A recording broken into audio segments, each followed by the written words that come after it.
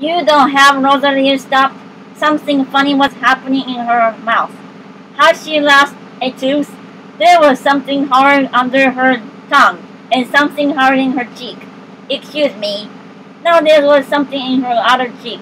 She spat directly into her hand. There were teeth. She was holding a diamond and two oblongs. Dear, dearly, entering smile isn't that nice? The Princess Tales Volume 1, The Fairy's Mistake, The Princess Test, Princess Sonora, and the Long Sleep.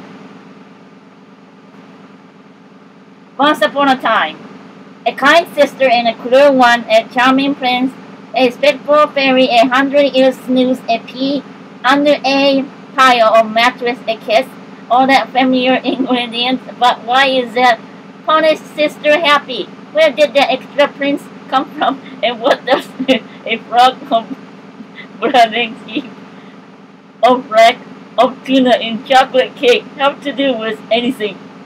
Gail Carson Levine has a wave her ma magic wand. Over three well-known fairy tales and presto. There are transformed and sparkling funny in this little for legend, The Fairy Mistake, The Princess Test, Princess Sonora, and The Long Sleep. Happily Ever After has never been so hilarious. This is Grand Entertainment. Publisher Weekly Zero Review.